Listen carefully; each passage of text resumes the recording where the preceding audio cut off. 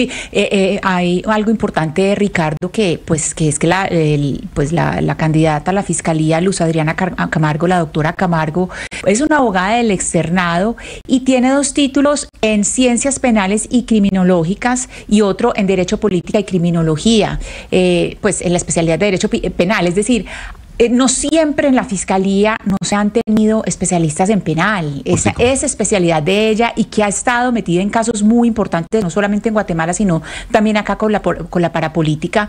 Hacen de ella, digamos, una muy buena candidata.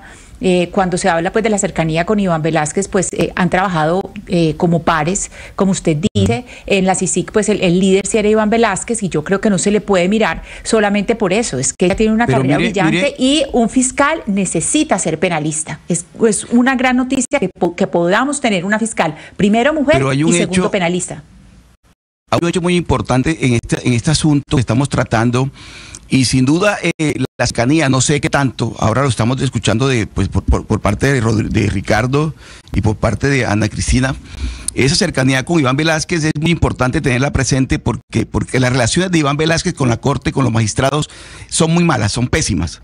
Pero aquí hay que preguntarse una cosa, el papel que va a jugar la doctora Ángela María Huitrago, hasta ahora en todas las rondas es la que peor le va. Una salida, en caso de que esto no se le encuentre salida, que esos 13 votos no se conviertan en 16, una salida sería la renuncia de la doctora Ángela María Buitrago a la terna para darle la posibilidad de que entre alguien, algún integrante que sí logre los 16 votos, porque es que es posible que tampoco se pase de los 13. Es que la situación interna en la Corte no es fácil cuando los magistrados tienen serios reparos a las candidatas, aunque hayan aprobado la terna.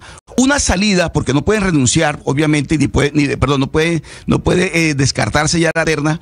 Una salida es que una de las, de las candidatas, la menos opcionada de todas ellas, que es la doctora Huitrago, decida dar un paso acostado para liberar ese cupo, cosa que puede entrar una persona que logre toda la, lograr la, pueda lograr la votación mayoritaria, que hasta ahora no se ha conseguido ni con la doctora Amelia Pérez ni con la doctora eh, de la que estamos hablando ahora, la doctora Luz Adriana Camargo, que ambas han obtenido 13 puntos, 13 votos.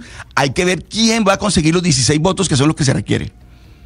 Claro, pero hay una sorpresa y es que entiendo, eh, Ricardo, que Ángela María Huitrago sacó 10 votos. ¿O no? En esta, en, esta última ronda de votaciones no sacó 10 votos. Yo, no, yo, yo tengo, puedo, puedo, puedo tener información eh, sin actualizar, Camila, pero la más reciente votación que me dieron y que fue la, la, que quedó como la, la, foto del momento, fue Luz Adriana Camargo 13 votos, Amelia Pérez Parra 9 votos.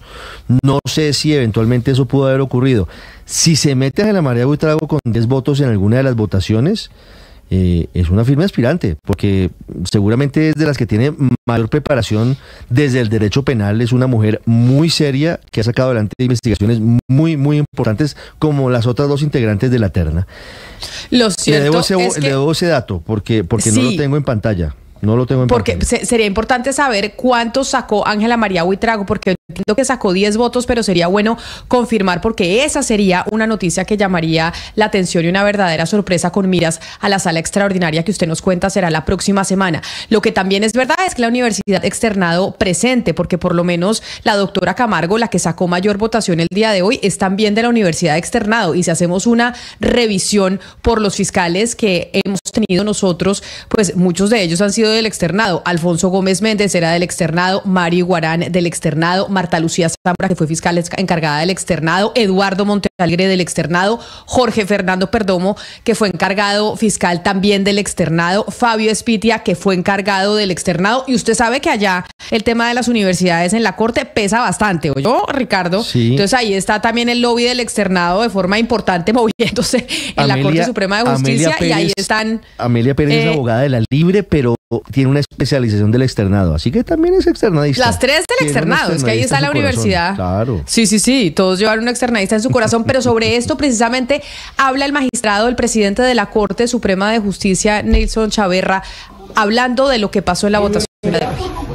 La Corte Suprema de Justicia se permite informar al país que agotada nuestra sesión ordinaria de sala plena, si bien ninguna tres candidatas alcanzó la mayoría calificada para ser declarada como la nueva fiscal general de la nación.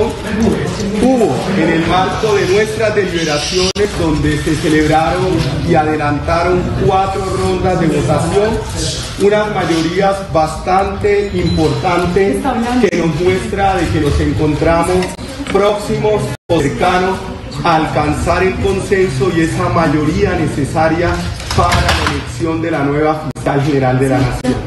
Dado ese ambiente que fue muy productivo, fue muy importante en el marco de las votaciones, la Corte Suprema de Justicia acordó por unanimidad llevar a cabo una sesión extraordinaria para el día martes 12 de marzo a partir de las 9 de la mañana, sesión donde estaremos concentrados de manera exclusiva en la votación para la elección de la nueva fiscal general de la Nación.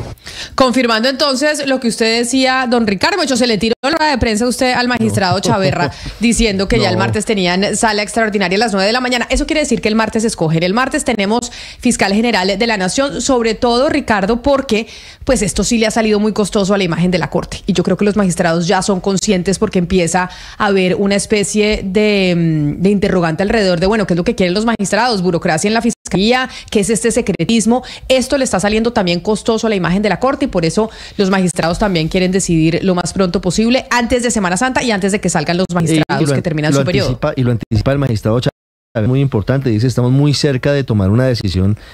Y si no se toman las dos semanas, Camila, es que dos semanas en esto son muchos días, es mucho tiempo. Si te- se toman únicamente cinco días, sí, cinco días exactamente, pues eh, estamos muy cerca de la elección de fiscal. Y pica en punta para eh, la votación del martes, sin duda, Luz Adriana Camargo. Sigo pendiente de confirmar el voto, el- el- el- los 10 votos de Ángela María Buitrago, porque eso cambiaría muchas cosas. Por ahora Correcto. nos mantenemos Eso en lo sería, mismo. sería bueno mirarlo, sería bueno mirarlo porque, porque sin duda alguna también es una eh, mujer muy experimentada que ternó el presidente Gustavo Petro y que al final se ve la mano del de ministro de la Defensa, el doctor Velázquez, precisamente ahí conformando esa terna. Sin duda alguna el presidente hubiera querido que hubiera sido el ministro Velázquez el fiscal, pero pues el ministro está cercano a cumplir los 70 años y pues de pronto no tenía tanta ascendencia en la Corte No Suprema. lo quieren en la corte. Lo, lo dice, lo dice Oscar con total claridad, Camila, es cierto. No lo quieren porque él demandó la elección de 8 de los 23 magistrados que hoy están en la corte. Entonces, si uno tira piedras, no puede pretender que le devuelvan rosas. Entonces, por eso no quieren hoy en la corte, a pesar de ser un hombre que estuvo en la corte. Fue el jefe de la parapolítica, como todos lo sabemos. Hoy no tiene mucha aceptación en esta corte por, por ese episodio, porque él demandó ante el Consejo de Estado esa elección de ocho magistrados. Venga, pero no, no creo posible que haya obtenido 10 votos la doctora mm, em, Ángela María Buitrago, Camila, porque eso, fue, eso es lo que usted está planteando, ¿cierto? Que de pronto ella que había tenido cero votos en varias rondas anteriores, hoy tuvo 10. Confírmeme. Eso, porque es eso es lo que quiero preguntarles. Porque- es que hubo cuatro rondas, es que hubo cuatro rondas de votación, es lo que entiendo dentro de la dentro de la corte y que en una Ah. de esas rondas de votación Ángela María en una de esas en una de esas rondas Ángela María sacó 10 votos. Y esa sí que sería una sorpresa. Por cuenta de que ella sí tiene mucha eh, cercanía en las altas cortes, es una de las que más recomiendan dentro del externado y sí es una mujer con mucha experiencia. Entonces, por eso eh, le preguntaba yo a Ricardo si tenía información, porque eso es lo que me están diciendo a mí en estos momentos, que hubo cuatro rondas de votación y, en qué? una de ellas sí sacó eh, el- la doctora Buitrago. Bueno, si nos atenemos a la que conocemos, que es eh, eh, la que sabemos que eh, Luz Adriana Camargo sacó 13, es decir, la mayoría de las rondas de hoy, y Amelia Pérez 7, pues entonces no habría manera de que Ángela María hubiera sacado 10, porque Claro. pues son eh, 21 Sí, votos pero mire- y entonces no darían las cuentas. Les, les tengo, les tengo Porque es importante- Oscar, sola- solamente un dato. Como son cuatro rondas, entonces esto es un poquito confuso. Eh, lo que me cuentan desde la Corte es que en la que obtuvo mayor número de votos, Ángela María Butrago obtuvo seis votos. Eh, seis votos Ángela María Butrago. Y en, y en la última, que es la foto, como le decía yo, Camila, lo que quedó en la retina de los magistrados de la Corte fueron 13 votos para Luz Adriana Camargo, 9 votos para Amelia Pérez ahí hay 22 votos. O sea, hay una persona que votó en blanco o votó por Ángela María Buitrago en esa oportunidad y así arrancan para el próximo martes. Entonces es muy Ricardo, probablemente Ricardo, ¿por qué es tan importante, por qué es tan importante el nombre, eh, Ricardo, por qué es tan importante el nombre del ministro o del ministro Velázquez? Porque para los magistrados es fundamental saber qué, qué, grado de cercanía tienen con el ministro Velázquez. Eso es muy importante para los magistrados. Le voy a decir porque, aparte de lo que usted dice, que, que siendo litigante, el doctor Velázquez, después de regresar de Guatemala, demandó a ocho de los magistrados actuales que están hoy de magistrados de la Corte Suprema, los de, demandó su elección. Aparte de eso, cuando él aspiró a ser magistrado titular, después de ser el magistrado estrella de la parapolítica como, como magistrado auxiliar, la Corte Suprema nunca lo eligió como magistrado titular. Y eso le, generó al doctor Velázquez un resentimiento con la Corte Suprema de Justicia. De tal manera que son dos elementos muy importantes y por eso yo digo que cuando se trata de la Corte Suprema de Justicia, no siempre dos más dos son cuatro. Es decir, esos tres votos hay que buscarlos, hay que conseguirlos y hay que lucharlos. Porque está bien, el doctor Chaverra ha dicho que, el próximo, que la, la, sala extraordinaria del 12 de, de, de, marzo se va a ocupar del tema. Eh, bueno, ojalá, ojalá haya humo blanco y se tenga el nombre de la nueva fiscal. Pero, repito, no es fácil esta elección en estas circunstancias y teniendo siempre rondando el nombre del ministro Velázquez sobre las tres candidatas. Pues así comentamos la noticia más importante a esta hora, que es la decisión de la Corte Suprema de convocar una sala extraordinaria para el martes y así lograr elegir fiscal antes de Semana Santa y antes de que se retiren los cinco magistrados que cumplen su periodo. Nosotros vamos a hacer una pausa y ya regresamos porque vamos a hablar del cacao, del chocolate